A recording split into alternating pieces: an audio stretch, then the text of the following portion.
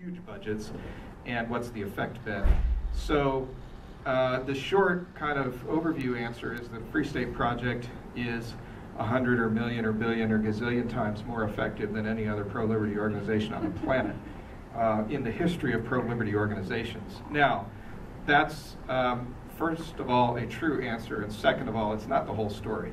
So what actually the Free State Project does is a little tiny piece of the puzzle. It encourages people who are libertarian or pro-liberty activists to move to the state of New Hampshire. So the Free State Project's budget is small and the Free State Project's activities are primarily volunteer. The effect is really through Free State Project participants. So the Free State Project doesn't do the work that the participants do.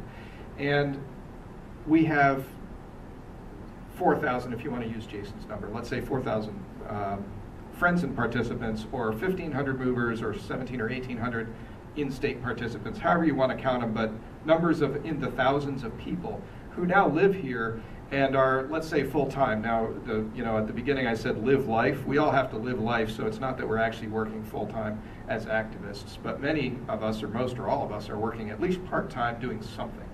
And that's not counted in the Free State Project budget. Um, you know, uh, uh, we may work in, I, I, fly airplanes for a living, and, you know, Jason teaches, and so on and so forth. We all have jobs or businesses or whatever it is we do, and that's all on our own. If you add up the value of that, it's, it's enormous, but we don't really have any way to account for that. Um, so the Free State Project is more like it's a catalyst. And as a catalyst, it's extremely effective. Now, you could argue that Cato is a catalyst as well. They raise millions and gazillions of dollars every year, and they write policy papers and go to Congress, and the purpose of the policy paper is to persuade congressmen. So that's a catalyzing effort as well. And if you put us on the same playing field there, we're certainly way more effective.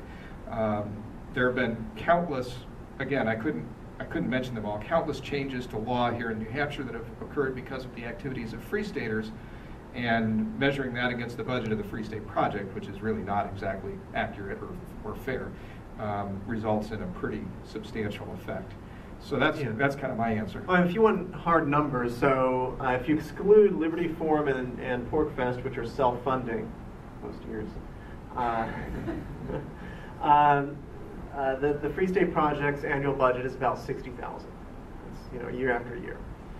Uh, compare that to 10 to 15 million for Cato Institute, uh, 2 to 5 million for Institute for Justice. I think Students for Liberty is 1 to 2 million. Josiah Bartlett Center for Public Policy here in New Hampshire is 250,000 a year.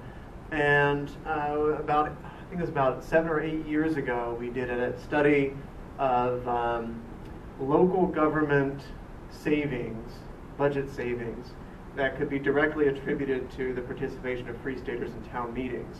And that figure was in the millions at that point. That was that was seven or eight or nine years ago. That was before the State House budget, which from yes. uh, 08, 09, was it, or 10? I forget which session it was. Yeah, so it doesn't include anything at the state level, doesn't include anything that's happened locally since, doesn't include any of the personal freedom stuff that people are involved in. So it's the bang for the buck is huge, and it's not just a redistribution of effort from other parts of the country to New Hampshire because people get active in a way that they wouldn't have been. If you're in Texas, I'm outvoted. I can't do anything, you know, that's of any significance. So I'm not going to be active. If I move to New Hampshire, I'm going to be active, uh, and that's the case for a lot of a lot of people who moved here.